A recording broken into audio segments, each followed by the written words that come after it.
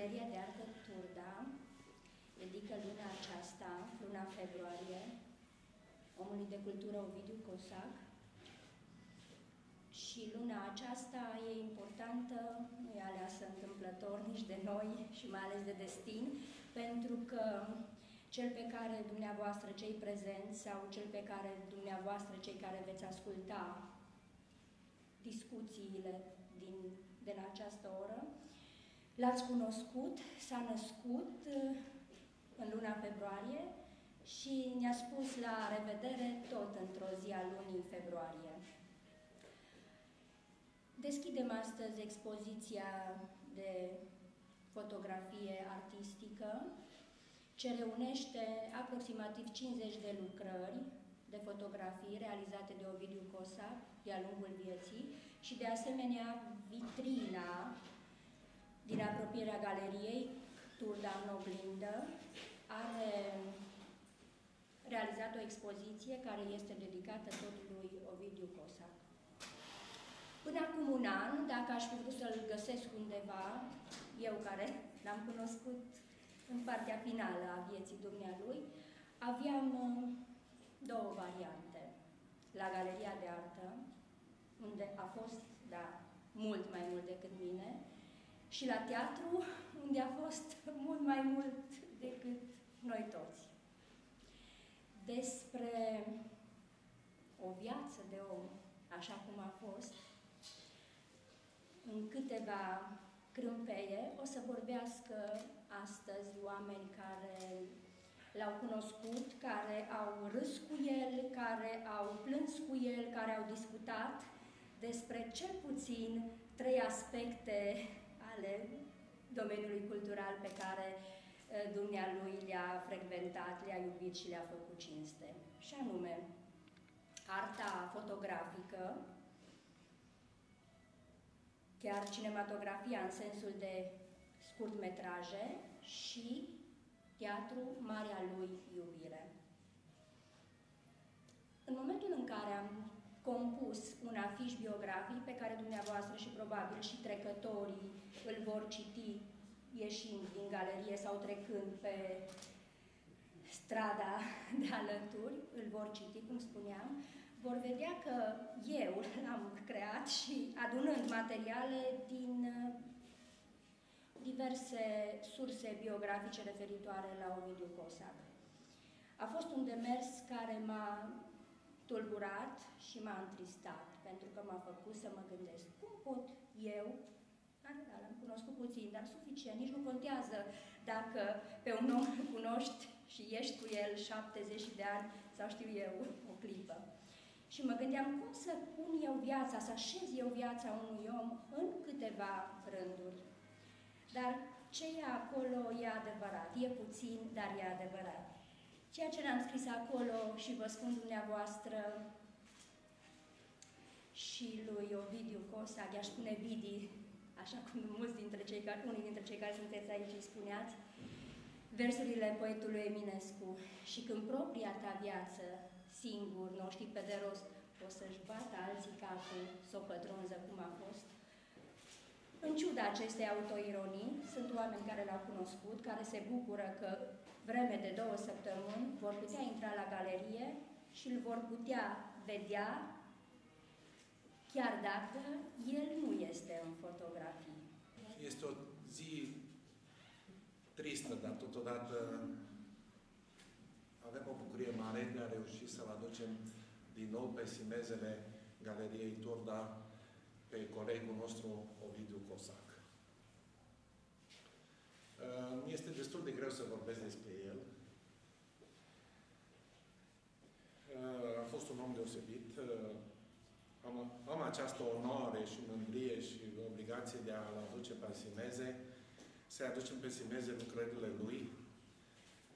Ceea ce a realizat n-am făcut singur. Am făcut cu ajutorul municipalității Turda, prin doamna Ana Sevean, de la Casa de Cultură, care ne-a sprijinit în mod deosebit, a colegului Oleg Rusnac, care împreună ne-am luptat aici să putem să facem această expoziție, sperăm noi, pe placul tuturor. Ovidiu Cosac, Vidi Cosac, cum spune toată lumea, turdean fiind, noi ne-am cunoscut de foarte, foarte mult timp. Și după aceea, înclinațiile spre artă ne-au adus împreună. Eu uh, prea multe cuvinte n-am să vă spun, am să vă spun doar atât că este păcat că fizic nu mai este pentru noi, dar spiritual va rămâne totdeauna. Și această galerie a deschis această expoziție la un an după ce l-a trecut spre alte lumi, cred că mai bune. Și invitația noastră este să veniți la galerie, să vă bucurați de opera lui, de creațiile lui, care foarte multe au în ele bucurie, tristețe și cum era el de altfel, era un om foarte direct, te iubea, dar te critica când era cazul. Atât am vrut să vă spun. Mulțumesc. Veniți la Galeria Tunda. Bună ziua! Eu am să fac o prezentare ca o scurtă povestire. Am să mă refer la omul Lidia Cozac. L-am cunoscut în aproape și ca fotograf și ca prieten. Întâmplarea a făcut acum 18 ani. Un alt prieten de-al nostru comun, Dan Peșa, să vină la mine în apartament și să vadă că mă ocup de fotografie. Și îmi spune, Nicușor, hai să-ți fac cunoștință cu cineva. Mă duce la domnul de Nicozac acasă, dânsul constată că îmi place fotografia și de acolo a început un lung drum de întâmplări și hazlii și profesionale. Cea mai uh, hazlie, care m-a legat uh, de viața de omul de Nicozac, a fost exact cu fata mea, Adela. În 2011, Adela avea 8 ani, mă duc cu ea în vizită la domnul Cozac și îi spun, vedeți că trebuie să prezinte zdreanță la școală. Ha, hai că o învăț eu. Și vine Lidi cu figura lui Bonomă, ca un bunicuț exact ca din Dumbrava minunată, povestește cu Adela și normal că fiind format o viață întreagă în teatru, mai ales regie, detaliile spun cuvântul. Și ajunge la a avea o ureche de pungaș fără pereche. La care vine, uită că e de pungaș fără pereche, pereche și zice, un poznaș fără pereche. Și de la de pungaș fără pereche. A apucat râsul și-o dat seama că de la ăștia de și a zis, stai că trebuie să o luăm mai profesional. Asta a fost prima întâmplare la zi. Tot în 2011 au fost două evenimente fericite. Expoziția fotografică în această sală care reunește o parte din lucrările care sunt prezente și astăzi și în paralel cu ele erau lucrările mele. Și după aia am scos eu un album de fotografie care tot așa au o legătură cu activitatea dânsului. În ce sens? La expoziția fotografică m-am dus acasă la Vidi, ne-am uitat pe toate fotografiile care trebuia să le selectăm și tot formarea lui teatrală îmi spune Nicușor, vreau să facem o paralelă punct contra punct. Dacă eu îți dau portret, tu îmi dai natură. Dacă eu îți dau abstract, tu îmi dai macro. Și așa s-a înflopit expoziția de atunci, fotografică. La formarea albumului meu Secunda Umană, care a fost prezentat la lucrări la Muzeul Țăranului Român, tot așa am făcut selecție și întotdeauna el a fost cel care mi-a deschis ochii în sensul că fotografia nu trebuie să fie numai o expunere și atât. Să nu fie viață. Să exprime ceva. Să aibă dinamică, să aibă suflet. În timp, toată experiența s-a acumulat și am ajuns la concluzia exact cum spunea dânsul într-un interviu în octombrie cu doamna psiholog Cerasela Libec, în psihologie și viață, omul ajunge să trăiască ceea ce face. Idee care o preluat-o din antologia frumosului și a urâtului de Umberto Eco.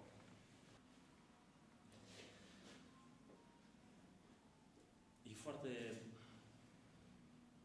foarte greu uh, și emoționat în același același timp uh, să uh, vorbești despre uh, Vidi.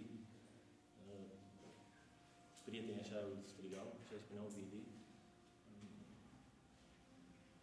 Astăzi, de 4 februarie, bă, s-a născut Marele Aureliu Manea. Uh, Mare parte sau activitatea lui uh, Ovidiu Cosac a fost uh, marcată uh, de geniul lui, lui Rică Manea. Și uite că poate nu întâmplător uh, și această expoziție se, uh, se deschide astăzi, da, din punctul meu de vedere, sau nu numai al meu, uh, Vidi Cosac uh, va fi nemuritor, uh, iar Turda fără de Vidi bă, e mai săracă. Încerc, încerc să, uh, să nu fiu trist uh, vorbind, uh, vorbind la trecut, pentru că el a fost întotdeauna un, uh, un spirit viu, un om, uh, un, un comic extraordinar. În 2017 am, am venit la, la Turda, uh, iar familia Cosac m-a adoptat, pur și simplu. Uh, Poate și pentru că ei au existat și au scris istorie, cel puțin în zona bă, artistică la Turda, poate că bă, au făcut uh, ca pentru mine să fie bă, mai ușor sau uh, in- integrarea mea în, în acest oraș să fie mai, mai ușoară.